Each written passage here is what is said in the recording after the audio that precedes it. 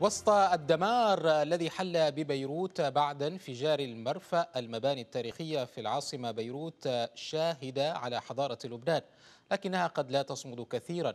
بعض من تلك المباني لحق بها ضرر كبير قد يتسبب بانهيارها.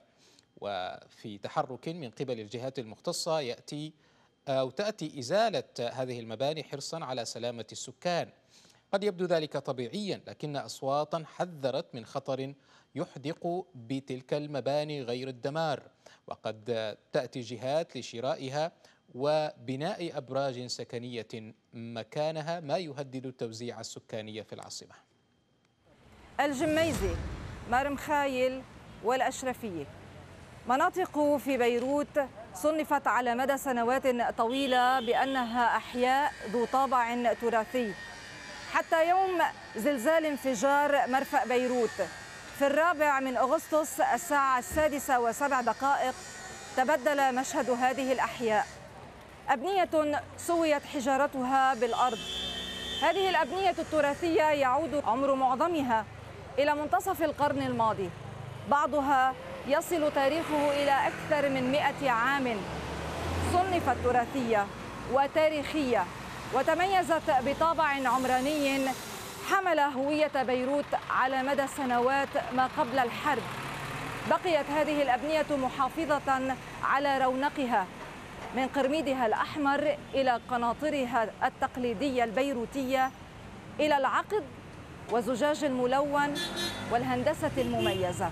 لطالما أخبرنا سكان هذه البيوت وأصحاب الحقوق والعقارات في تقارير سبق وأعددناها عن محاولات تجار العقارات إلى شراء هذه العقارات لصعوبة إعادة ترميمها ربما. مع وقوع هذه الكارثة التي حلت بهذه المناطق التي ترتفع فيها هذه الأبنية التراثية القديمة ارتفعت أصوات بعض السياسيين محذرة من هجمة تجار الأبنية وسماسرة العقارات الذين يهدفون إلى تغيير ديموغرافي في وجه هذه المنطقة المصنفة تاريخيا بأنها منطقة التعايش.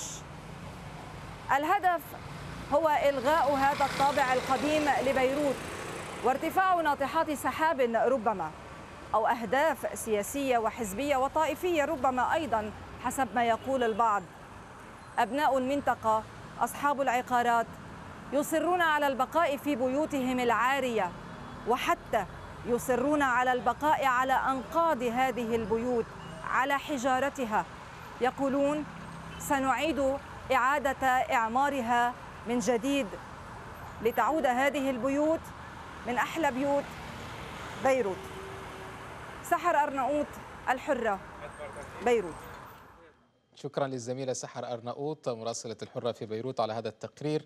أبقى في بيروت عبد الحليم جبرة المهندس المعماري والخبير في التصميم وعضو في خلية الأزمة للآثار ومارون الحلو نقيب المقاولين في لبنان. أهلا بكم ضيفي الكريمين شكرا على قبول الدعوة. اليونسكو تحدثت في تقرير أخير عن أن هنالك خطرا حقيقيا يهدد ما يزيد عن 600 مبنى أثري في لبنان. ما هو هذا الخطر؟ بعد الانفجار طبعا. تفضل سيد جبر. الخطر مثل ما ذكر بالتقرير أنا أول؟ تفضل سيد عبد الحليم. نعم. الخطر هو تهديد للنسيج الاجتماعي والاقتصادي للمنطقة. هيدي المنطقة مع أنها يعني أكلت ضربة قوية بالحرب. اللي ضلت 15 سنة بس حافظت على تماسكها الاجتماعي واستمرارية الأجيال من وقت اللي نشأت فوق ال 150 سنة. فنحن كتير خايفين إنه هالضربة المفاجئة والقاسية جدا يصير من وراها حركة تهجير أو يأس من السكان. ونحن عم نتضامن معهم وندعي السكان مالكين ومستأجرين إنه يطولوا بالهم لنقدر نكون نحن قيمنا الأضرار وقدرنا يعني نتواصل مع كل المانحين اللي بدهم يعطوا هالمساعدة المالية. إن شاء الله حتكون سخية لا يعني وبدها تجي عن طريق منظمات غير حكومية لأنه ما في ثقة بالدولة يعني فقط لأفهم من حضرتك لأنه نحن ما عرضناه عرضناه عن عن قصة مباني عن قصة مباني تاريخية مباني أثرية. لبنان مدينة معمارية من الطراز الأول عبر التاريخ المعمار البيزنطي المعمار العثماني المعمار الروماني وهذه المباني ربما تعكس هذا الأمر. ولكن الآن أنت تتحدث عن نقطة قد تكون أهم تغيير ديموغرافي. عبد الحليم. نعم. نعم نحن يعني هيدا اللي شفناه نحن ب... هيدا اللي شفناه بوسط بيروت بعد الحرب. وصار في آه، مشروع آه، وسط بيروت اللي هو معروف بسوليدير اللي اجى أسقط على المنطقة. هلأ واقعيا هي كانوا سكانها تهجروا لأن الحرب كانت طويلة. بس هيدي الضربة اللي شفناها من عشرة أيام آه، يعني السكان بعدهم موجودين ومتمسكين. بس بنتمنى إنه المساعدات والحد الأدنى من التنظيم الرسمي اللبناني يساعد هالسكان على بقائهم خصوصا طيب. قبل فصل الشتاء. نحن عم نشتغل على مدار الساعة لنحمي الأبنية المتداعية ونسكر الأبنية اللي إنشائيا وضعها كويس. دعني أنقل الكلمة لمارون الحلو نقيب المقاولين في لبنان. هذه النقطة التي ذكرها المهندس عبد الحليم إنه الذي جرى في وسط بيروت لا يريدون أن يروه بعد انفجار المرفأ في الأحياء التي تضررت. تفضل. أه، بالواقع نحن اعتبرنا أنه هالاقاويل هيدي منا ثابته وتأكدنا مع الوقت أنه لا في هجمة لشراء هالعقارات هيدي وتأكدنا أنه انسحب ملفات من الدوائر العقارية. أه، طبعا أه، في المستغلين بهالأزمة النكبة اللي عم بتصيب اللبنانيين آه، وعم بيجربوا يستغلوا آه، الضعف اللي موجود من يشتري لو سمحت؟ بيعطوهم عروض كثير مغرية. من؟ آه، في مجموعات سماسرة مستغلين الوضع المأساوي وهن للي عم بيتابعوا أكثر شيء عروض مغرية ما في لبنان. أنت تعرف إنه إنه أي مال تابع لزعيم بشكل أو بآخر. وليد جنبلاط حذر من أن هنالك ربما جهات سياسية تقف خلف هذه العمليات؟ هل لديك فكرة من هي سيد مارون؟ يعني فلقسم الموضوع إلى قسمين. في الموضوع التجاري للي فيه أكيد حيتين المال والمستفيدين والمستغلين عم بجربوا إنه يشتروا على العقارات وفي محاولة لتغيير ذاكرة بيروت تغيير حضارة بيروت تغيير كل هالموضوع اللي نحن بميز مدينتنا عن باقي المدن بالعالم العربي. ولكن آه، منا واضحة آه، إذا كان في آه، جهة سياسية معينة ولا عم بتكون عملية تجارية فقط. ولكن هذه رح تبين مع الوقت. ولكن في تصدي كثير من قبل كل الهيئات والنقابات ولا الدولة اللبنانية كمان عم تمنع أنه هالشيء يحصل. في استنفار عام من قبل المجتمع المدني في استنفار عام من النقابات نقابة المقاولين بلشت تدعم وترمم وين فيها تدعم وترمم؟ نقابة طيب المهندسين أنا لم آه، لم يبقى للكثير. يعني انت أنت كنقيب للمقاولين في لبنان. سأطرح مثال بسيط.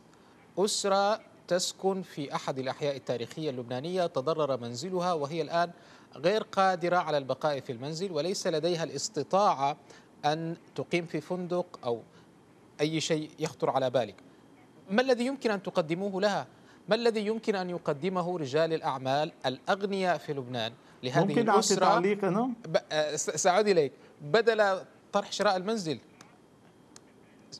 مارون باختصار المؤسسات المؤسسات الغير حكومية المعروفة بان جي أو عم بتساعد. والحقيقة شيء مذهل. وقت تشوف وقت أول ما حصلت الحادثة قديش الصبايا والشباب عم بيساعدوا كان بإزالة الركام.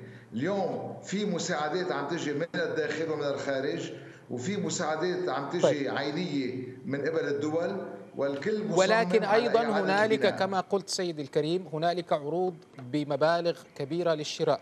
هذه النقطة عبد الحليم وباختصار أرجوك.